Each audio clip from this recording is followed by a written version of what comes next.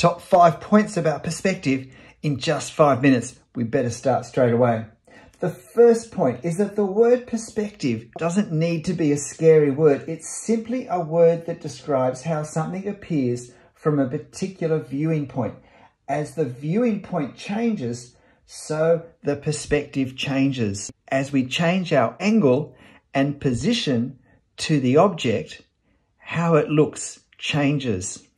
If we're looking more side on, or if we're looking more upwards. What we see and the angles that we see occurring change. The second perspective point is that as objects get further away, they get smaller. That's pretty obvious with objects the same size and shape. But when we have one large object that we view it, say, from the side, what happens is that this side is closer than this side. And so because this side is further away from this side, it's smaller, or as we say, shorter, which means these lines have to angle. So the object shortens horizontally as it moves across, but it also shortens in the other direction, in the width. And that's why the apparent halfway point looks much further to one side, because as our object moves further away in this direction, it gets smaller, or as we say, it narrows. And so the part of the building that's closer to us takes up more space than the part of the building further away, which has gotten smaller, which has narrowed. This is called foreshortening. The third top point is that eye level is the most important element of perspective.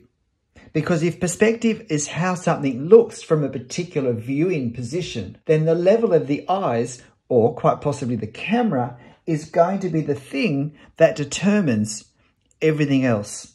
Finding eye level is always a key element of starting a drawing. And where we have a scene with many horizontal lines, eye level is going to be the place where this line actually is horizontal.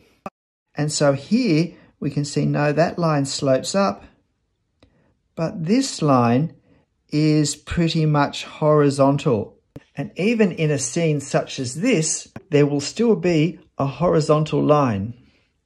Now this line slopes down and this line slopes up. So the horizontal line will be somewhere in between those two lines.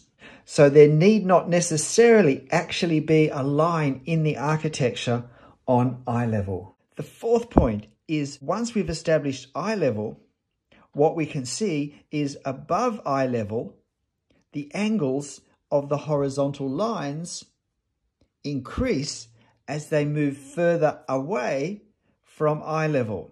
But then below eye level, the horizontal lines increasingly increase in angle in the opposite direction.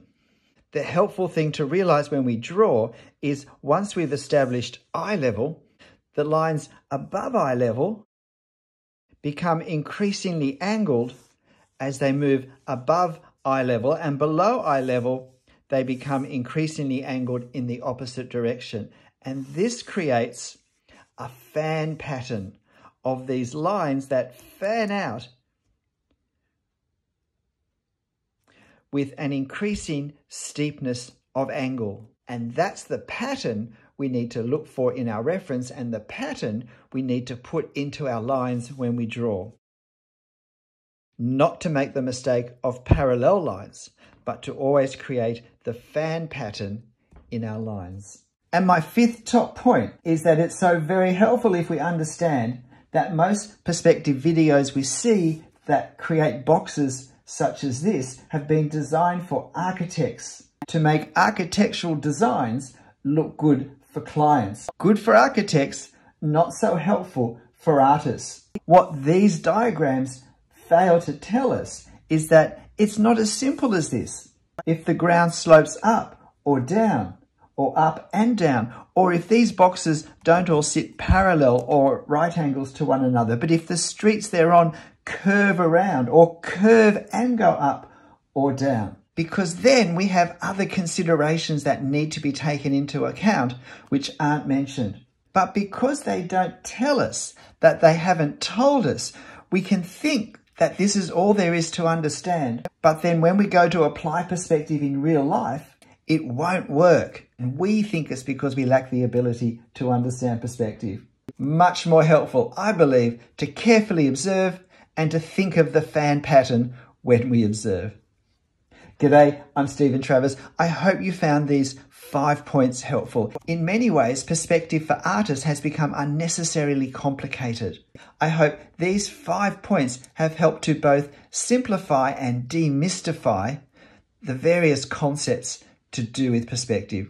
And if you're interested in more on perspective from me, I've got two playlists and I'd particularly recommend that you look at the one with 13, 14 videos on it. I'll leave a link in the comments to that playlist. But look, whatever you're drawing, however you're drawing it, whether there's perspective or not, make sure you have fun. I'll see you next time. Bye.